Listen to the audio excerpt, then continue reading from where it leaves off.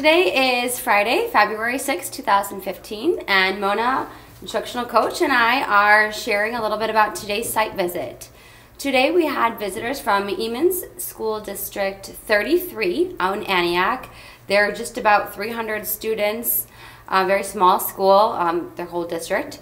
And then St. Linus, which is a Catholic school in Oaklawn, again similar K-8, around a couple hundred students as well. We visited Heritage Middle School today and Emerson Elementary School. The visitors um, had a lot of great questions for us today. Um, in particular, I was talking to Tony Hamilton, one of the visitors, and we just had a lot of discussion about how do you tell uh, personal stories? How do you get the buy-in? How do you get people engaged to know that this is the right thing? And how is it that there are districts out there that aren't doing one-to-one or aren't considering one-to-one? And I talked a lot about differentiation and how it's not just the device, that it's about good teaching and that we are doing standards-based grading and eh, you know inclusion and co-teaching and that we you know we're you know we we're looking at what's the best way you know to teach reading, the best way to do math and and using the device helps us to differentiate, but it's not just about the device. For sure. Yeah, he had a lot of questions. So did all. I mean, particularly the Antioch group. I mean, I was really exhausted at the end of the visit because I felt like I was asking. They, they did really good questions. They were a really right. engaged group. Um, and so I kind of want to talk a little bit about what they were excited to see. You know, when we start off the day in our welcome meetings, we go around and everyone introduces themselves and you know, we asked them what's something that you're looking forward to seeing. And what struck me, I, I had written it down um, that one of the visitors said that he was excited to see the culture, like really just not just like the one to one in action, just the whole culture of the teachers and the students and how it's transformed school, um, school for us. And then I also really liked um, what the superintendent said out, out in, in Emmons.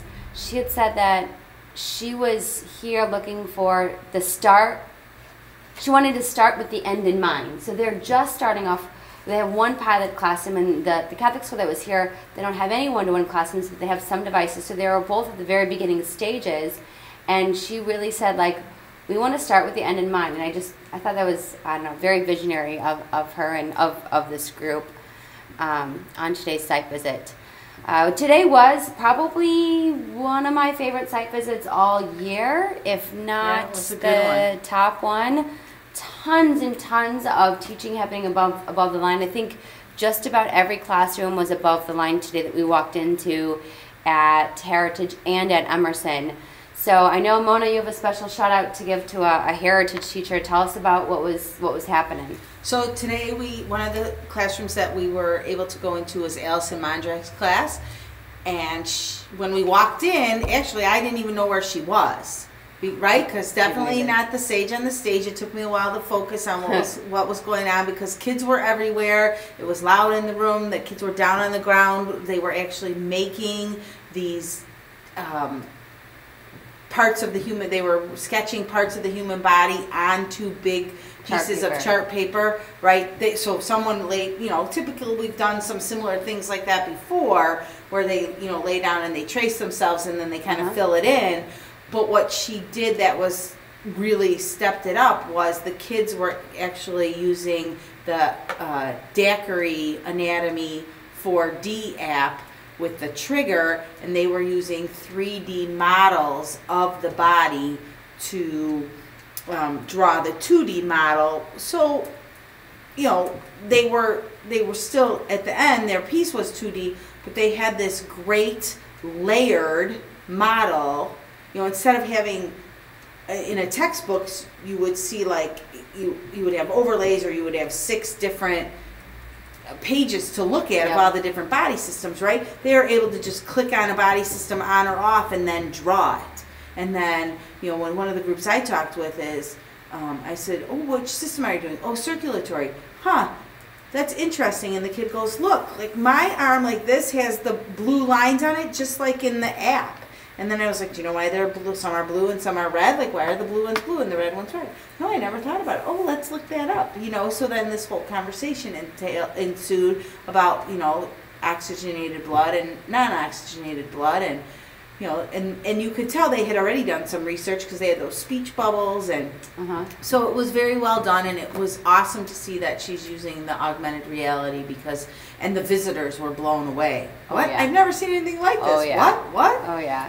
Uh, you know, and so that was really cool. So great job, Allison and Allison's class Yeah. of sixth graders. That was awesome.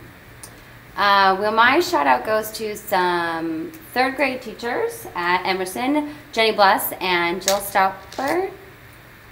Sorry, Jill. Um, so I walk into we walk into their classroom and the students. I, I quickly I'm engaged with a student. I believe her name was Carly. I said, Carly, what what are you working on? And immediately I see that they're in Kidblog and she's telling me about she's like oh well next week is my half my half birthday and so i'm asking her how old she's going to be so she's writing this whole blog post about her half birthday and then i asked her i'm like so who can read your blog is your blog private or can anyone read it said, anybody can read it and i said can, can i find your blog and go yeah anybody can read it's public anybody can read my blog. She's so proud of what she was writing about and so then we started asking about about the workflow and how often they're blogging and all this. So then I, I continue walking around the room and she's just like as cute as can be. And i'm having similar conversations with the other kids and these kids are just going away typing like beautiful handwriting um, like typing skills and with like the formatting like capital letters periods everything. So I, I pushed, I scooted Jenny, um, the teacher, aside and said, Jenny, how long has your class been blogging for? I could pretty much guarantee that she was going to say September 1st. And she said, this week. I said, what? She said, well, I mean, we started like a little bit before break, um, but it was only some, we couldn't get everybody on, but this week is the first week everybody in this class is blogging. I was like, you've got to be kidding me. So it was, it was just phenomenal. They were uh, writing for an audience. They knew what they were writing about. They were excited and engaged in, in what they were doing. So great job, Great. great, job, uh, those third grade teachers. Okay, uh, so I would like to thank um, Assistant Principal Jean Suki from Emerson for coming to the debrief at the end. Um, Kristen Caparola from Heritage, representing the middle school teachers and Heritage. Dr. Stan Fields and Jenny Feltz, who um, I just would like to say, uh, Jenny and Heather, excellent job in your classroom. Uh, you guys have really stepped up your game, and it's uh, looking good in there. And uh, everyone did a great job at the debrief, talking just about how much they love their job and what they do and, and those things. Well, we're going to end like we usually do with our favorite quote from our visitors. And so, our favorite quote from this site visit said that the students were extremely engaged. I enjoyed seeing the unlimited number of applications that can be used to enhance the learning environment. So, great job, teachers and, and staff over at Heritage and Emerson, and we'll see you all the next site visit.